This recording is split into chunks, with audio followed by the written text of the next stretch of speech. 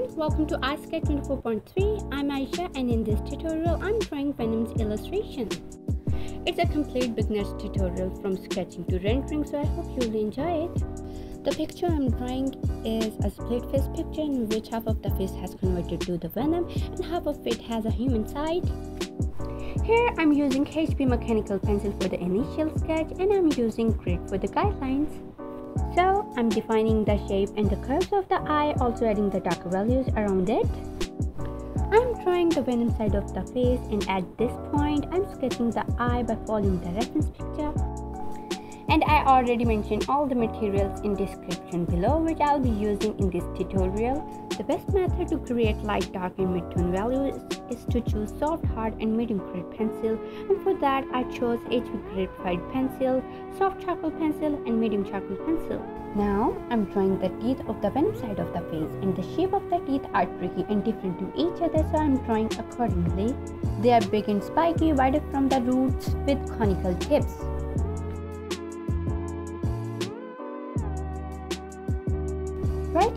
Sketching the lower lip line and then drawing the teeth.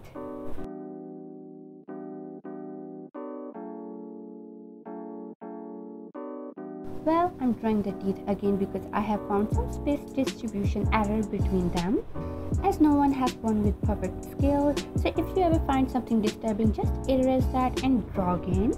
Another thing I want to mention here is that don't draw the whole drawing at the same time. It's better to take breaks for the refreshment of the eyes and the mind. Because continuous sketching will exhaust the eye vision and that will make us unable to observe all the details. Once again, I'm drawing the lower lip line, the jaw and the teeth. And you can see that the size of the teeth are smaller than the upper ones. At this level, I'm trying to achieve the basic of the illustration, so I'm just marking the outer lines. Once I have completed the foundation, then I'll start adding the details. Right here, I'm constructing the shape of the lower jaw, the teeth, and the details of sublingual fossa. Having control on my hand weight while marking the stroke is also a great way to separate objects from one another and that can help me to emphasize on shadows thicker and soft line can easily fade into the shadows, which helps to create a pop-up look. Now I'm drawing the split area of the face at the middle by marking Wayne's curved creases which shows how the venom encompassing him inside. And you can see that now I'm marking the shaded and highlighted area at the side of the face.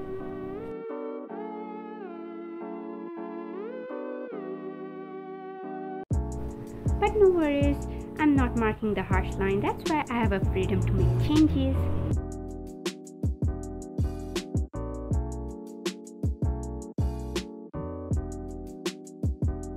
Now I'm drawing the eye and the nose at the human side of the face.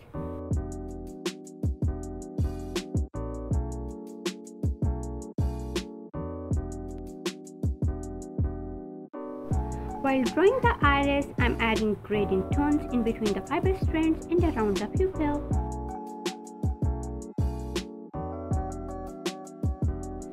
I've removed the whole thing which I've created earlier because the lacrimal caruncle isn't visible and the size of the eye was smaller than the real one. So first, I'm sketching the white area of the eye, then draw the lacrimal caruncle and the crease lines. Here I'm drawing the iris as the round is almost visible in this eye so I'm drawing almost a complete circle. Then I block in the darker values to show the pupil and the outer rim of the iris. And also I'm leaving some of the area empty to show the reflection of the light. After finishing the details of lower eyelid, I move to the eyebrows and fill it with multiple layers of mid-tone strokes. Now I move to the nose, so first I'm drawing the foundation, then blocking the darker values in the nostrils. At this stage, I'm drawing the lips. They are quite thicker and darker, so I fill them with darker tones and blush them with paper stump. After that, I have smoothed out the crispness of pencil lines by using paper stump. I'm adding the dark tone right inside of the lips to show the depth of the mouth. Here I'm adding more dark values in the nostrils, the lips and around to prominent the creases of the face. I'm defining the mustache area by adding shading and highlights. After that, I'm adding more details around the face. I'm adding the darker midtones and lighter values to show the gradient contrast for depth and the three-dimensional effect. Medium charcoal pencil, I'm adding more darker tones around the nose, the lips and the face to achieve good realistic effect. With the help of tissue paper, I'm smudging all the sharp lines of pencil and charcoal around the face area. But be gentle while shading and keep adding light layers on top of each other until you reach a desired shade. Here I'm adding the details at the human side of the face by drawing the crease line uh, and the vein in irregular lines which are visible like a cobweb in the skin. And I'm back to the one side of the face adding darker values around the eyes to create more depth and contrast. At this point, I'm adding multiple layers of light stroke by using medium charcoal pencil to get the required shade. And you can see that I'm wearing a sketching glove. This is how I'm securing my drawing from the greasiness on the head and also my graphite lines from being getting blurred. And don't forget to see your drawing from the distance so that will help you what to add and remove. For more darker shades, I'm using soft charcoal pencil around the jaw and I'm using my mechanical eraser to expose the light areas to create a nice contrast of light and depth. Another way to check your illustration is to see it in the mirror from the distance. It will also help you to do the amendments if there are any mistakes.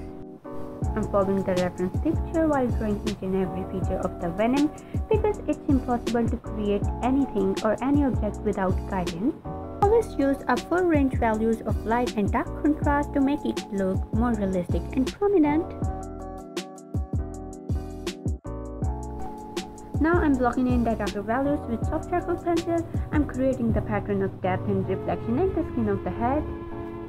And again I'm using paper towel underneath of my hand to save the drawing from being getting blurred. With the help of blending stump, I'm smoothing out all the sharp lines and creating the darker contrast by using medium charcoal pencil around the pattern of the venom to achieve convex and concave effect. Well, blending stump is an amazing tool for shading and smudging. For blending, use a clean paper stump and push the graphite and charcoal in back and forth position until the tone blends together, but apply a very light pressure on it.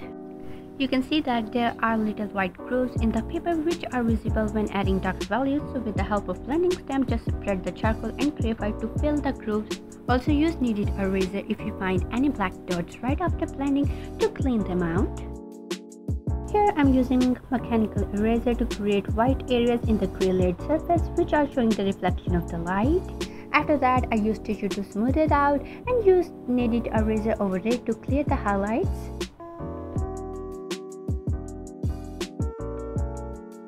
Shading and highlights is one of the important attributes of realistic drawing.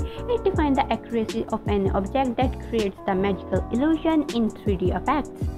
The source of the light explains that where to add light values and the shadows. So look for the light areas of an object and the very bright areas are the highlights. The dark values of an object are the shadows with, with which you can identify the source of the light. The cast shadows and the midtone values are usually found close to the dark values and with the help of cast shadows you can easily find the direction where from the light is coming. So now I'm drawing the teeth of the upper jaw with medium charcoal pencil and smudging it with blending stump. After smooth out I add more darker tones and I'm covering all of it with graphite and also using soft charcoal pencil for darker tones. Don't lose the focus from your reference picture while drawing and see it quite closely to observe the picture into basic shades. Another point I want to add here is that the charcoal has bigger grain than the graphite and it creates a rich black tone even with a very light thin stroke so it can easily smudge. Well, it's a mixed media drawing of charcoal and graphite. They are the most common art supplies. The each of them has creates the great contrast of lighter and darker tones with matte and glossy effects. So play with these characteristics and please don't expect anything the medium is unable to create. For the initial sketch of the lower jaw, I'm using graphite pencil, but if you want, you can use hard charcoal pencil as well. And with the help of soft charcoal pencil, I'm blocking in the darker values at the shaded area between the teeth and also using eraser for highlights. With HB Graphite Mechanical Pencil, I'm creating light, mid-tone and dark values to achieve prominent details at the lower jaw. Another point to be noticed is that the good contrast makes the drawing more three-dimensional by accentuating the light and the shadow. Here I'm adding dark black tones at this side of the shoulder with the help of eraser. I'm exposing the light areas. I'm creating the texture of the skin with white charcoal pencil and eraser to expose the shine and the light of the web vein. For a powerful strong drawing, you need to add dark values next to the light areas. I'm also applying bright white values to show the reflection of the light and adding a little gray tone to show the depth around it. For an accurate and good results, it's better to be humble and don't rush. Focus on the subject which you are drawing and keep following your speed. And I keep adding multiple layers of lighter and darker tones to create a good contrast of depth and highlights. I'm also using charcoal pencil to achieve more details and depth inside this pattern. But if you get failed to achieve a good result, then don't give up and try again because practice makes perfections.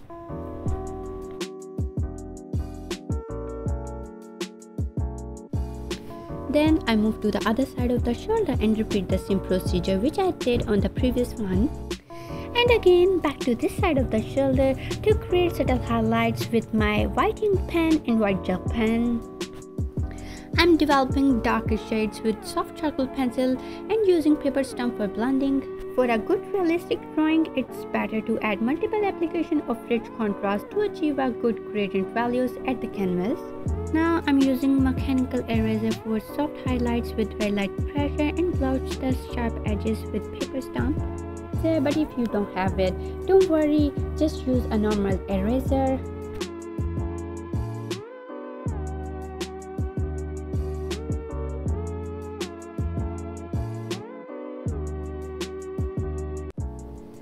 To create a smooth finish, I'm using blending stump to blush the sharpness of lighter and darker values. Again, I'm adding multiple layers of darker and lighter tones to achieve a rich contrast between depth and lights. Charcoal gives the liberty of rendering to an artist because of its characteristics. They can easily blend, spread, and erase. Well, I finally reached at this side of the face and once again I'm using soft charcoal pencil to adding details and depth. I'm creating the strands of the venom which are covering him inside and they are broad and narrow in shape with darker and light values.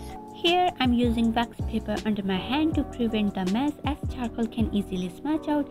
So with this I can save the shading and highlights of those parts. Accidentally, my Faber-Castell soft charcoal pencil got broken while sharpening, so now I'm using the leads. Anyways, forget it. Now I'm creating dark tones at the human side of the face and blotching the sharpness with paper stump to achieve a smooth effect. For more prominent tones, I'm using medium charcoal pencil around it and for subtle highlights, I'm using eraser inside of the iris and around the eye. For more prominent tones, I'm using medium charcoal pencil around it and for subtle highlights, I'm using my eraser inside the iris and around the eye.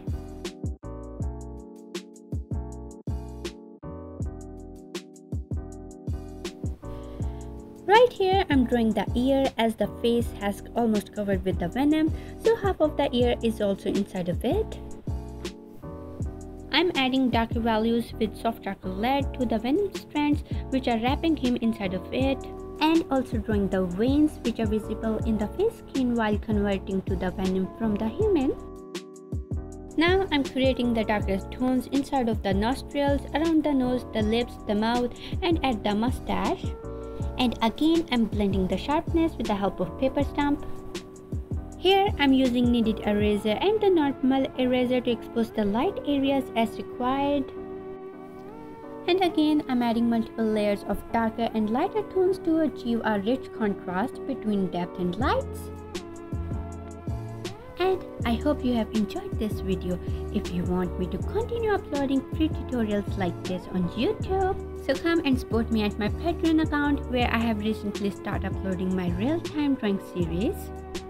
And also I have uploaded 14 hours long tutorial of this drawing at Patreon which is available into 7 episodes with each and every details so don't miss that. So don't forget to subscribe to my channel and give me a thumbs up and I'll see you in next tutorial. Till then take care bye bye.